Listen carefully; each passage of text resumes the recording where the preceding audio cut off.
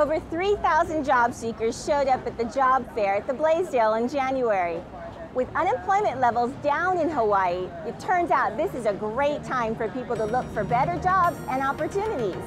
This is our first job fair for 2014.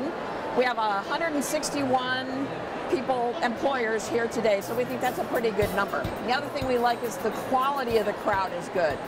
We have a number of companies that are brand new. We love to see new exhibitors, means new jobs, new growth. Rengo Packaging is here, Kualoa Ranch, uh, one of the things we like about that is jobs that aren't just in Honolulu. Those are some jobs that are out in other parts of the island and different kinds of jobs. And Hart is here for the first time. Um, Cam Security is here for the first time. So lots of new people. We've been doing this for a lot of years. So we've seen unemployment go up and then come back down to 3%, which is considered full employment. And we're at 3.8 on Oahu. So you can tell that it's going to get harder and harder for employers to find good quality candidates. So we're going to start seeing more employers at the fair and they're going to have to look a little harder.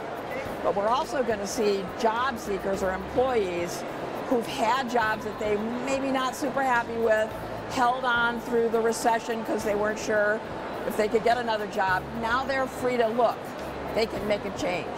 I think um, training is the, going to be huge for job seekers. And I don't, you know, it used to be that um, you immediately needed to go back to school and, you know, like you're going to get a degree. I don't think that that's necessarily going to be true in the future. And in our Pikake room today, we have the community colleges.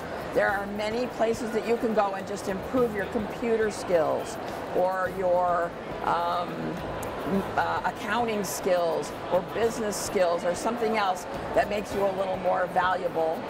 And the other thing would be learn a language. We have a lot of people that want uh, bilingual, especially the airlines.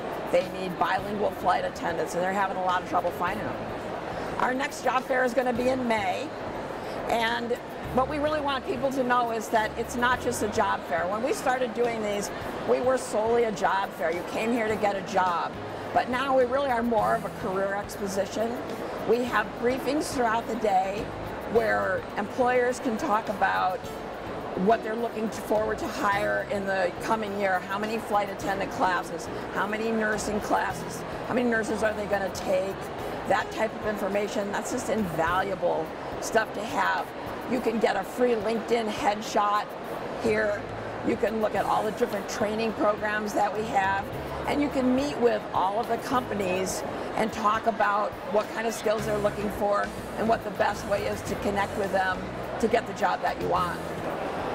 Our company started as a recruitment advertising agency and we uh, probably 99% of our business was in print advertising. We would do help wanted ads in the paper. But as everybody knows, that's just changed. And now we do almost total online marketing and job fairs is another big, you know, source of our business. But LinkedIn, Career Builder, those type of things. And LinkedIn in particular, I think, is where recruitment is headed. Instead of people recruiting, they're going to be sourcing. Instead of posting an ad and getting hundreds and thousands of responses that they have to go through, they're going to be going in profiles and picking the people that have the skills that they need.